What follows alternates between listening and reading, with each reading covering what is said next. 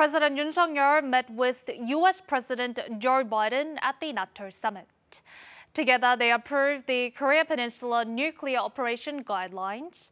Now, this plan integrates U.S. nuclear capabilities with South Korea's advanced conventional forces.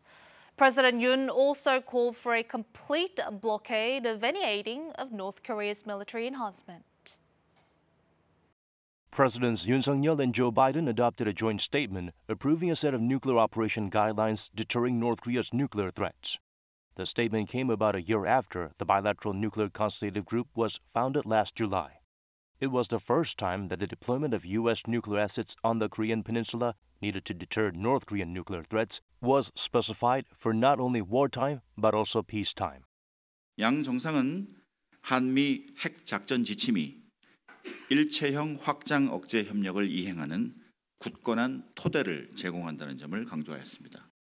Meanwhile, President Yoon attended the NATO summit and urged the members to respond strongly to the military cooperation between North Korea and Russia. He criticized that such cooperation between a UN Security Council member and a sanctioned country undermines the foundation of the UN system. 러시아와 북한의 불법적인 군사 경제 협력을 무력화하고 차단시켜 나아가겠습니다. He also emphasized the need for close cooperation among the nations sharing the same values.